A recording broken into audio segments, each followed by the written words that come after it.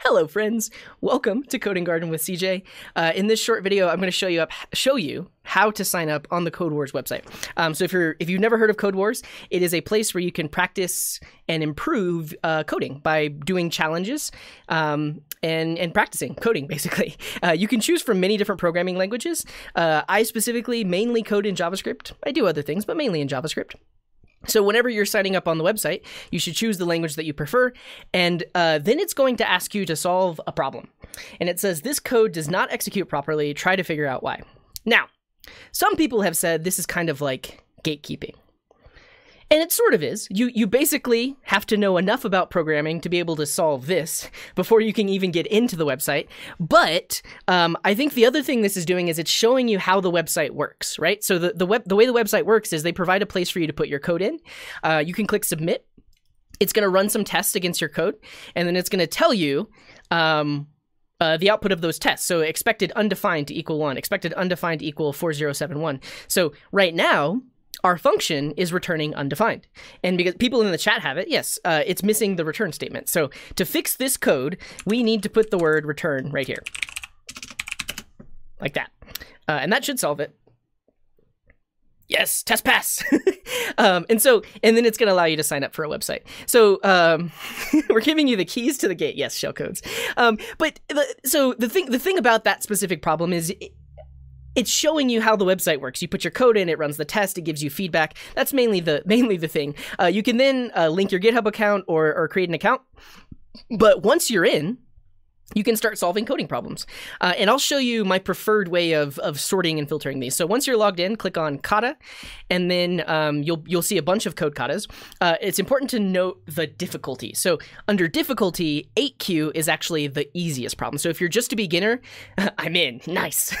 if you're just a beginner, you want to start with 8 kyu. Uh, these are like introductory problems a little bit harder than that first problem we saw to get into the website, but it's a good place to start and practice. Um, and then it goes up from there. So the the lower the number, the harder the problem. Um, and just to give you some context, I mean, for I'm just a guy, but uh, we were working on a 2 kyu problem, and uh, I currently have done four episodes of of code katas working on that exact same problem and we're still not done. So the the higher the the lower the number gets, the harder the problem gets. And it's relative. It depends on your experience and how you take in problems like this, all that good stuff. But let me show you real quick. Uh, I I prefer to sort by most completed, either most completed or uh, positive feedback. So the thing about this website is all of the problems are user submitted. So um, sometimes it's really hard to understand the problem that they're asking you to solve. Um, but if you sort by positive feedback or most completed um, or even popularity you're going to find problems that are a little bit or at least they're solvable right they're easier to understand the problem statement uh, i usually go by most completed um, and then you can choose your language I, my language is chosen are, are javascript and then um, here I like to choose katas that I have not trained on. So this is going to show me ones that I have never seen before. Um, you could also choose ones that I've not completed if you want to go back and do that. Um, and then filter by difficulty. I'm going to start with an 8 kyu. I'm going to start with an 8 kyu, katas I haven't trained on, most completed. Do I get a bonus? Let's do this problem right now, and that will be the end of uh, this YouTube video. Um, so here's the problem statement. Uh, it's bonus time in the big city. The fat cats are rubbing their paws in anticipation, but who is going to make the most money? Build a function that takes in two arguments, salary and bonus. Salary will be an integer, and bonus is a boolean. If bonus is true, the salary should be multiplied by 10. If bonus is false, the fat cat did not make enough money and must receive only his stated salary. Uh, return the total figure the individual will receive as a string with the prefixed um, euro? um, is that what that is? Is this a euro or is this a pound? Is this a British pound? People in the chat, help me help me out. It's a pound, okay. so either a, a pound, a dollar sign if you're in these languages, or what is this? Can you even tell me what this? I I'm I'm ignorant of the world.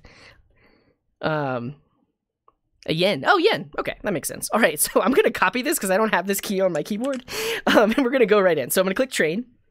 This is my break timer. Let's take a quick stretch. Um, take a sip of water. Rust. Great, yeah. And so um, you can see the same problem description on the left-hand side. You can see the code right here, and then you can see uh, all of the sample tests. So these tests basically tell you expected inputs and outputs. So when they call your function with 10,000 and true, um, they get a, what's the bonus if it's true? Multiplied by 10. Wow, that's a big bonus. So the salary is multiplied by 10 if it's true. Uh, and then the output should should be that. So um, let's let's solve this thing. So we basically need to say um, if they get a bonus, then we need to return a string that uh, has the sign in front of it multiplied by 10. So we could say return. Um, I'm just gonna say uh, let's put let's make a string with that sign. We need to add the salary, uh, salary, salary multiplied by 10. Uh, and that should do it. So in, in, JavaScript, it's actually going to coerce this number to a string and concatenate it. Um, otherwise, if they didn't get the bonus, then we just need to return uh, that with the salary itself. Um, salary, salary, salary, salary, uh, and this should do it. Okay, awesome. Test pass. Now, if you've ever watched uh, Code Wars, Code Katas with me, you know that I don't just solve it one way. There are many, many other ways to solve it, so I'm going to go ahead and do that. But this is it for this YouTube video. Uh, thanks for watching. Hopefully you'll sign up on Code Wars. Hopefully you'll tune in every other Wednesday where we do this kind of stuff live. And uh, thanks for watching, and, and join Code Wars. Get better at coding. Everybody say bye, YouTube. Uh, wave. Bye, YouTube. Smile. Oh, Carl smile. Yeah. uh, I, am glad to hear that. Razor who says I really get positive ener uh, energy from your streams. Appreciate that. All right. Now, bonus content, bonus content for people that aren't watching on YouTube.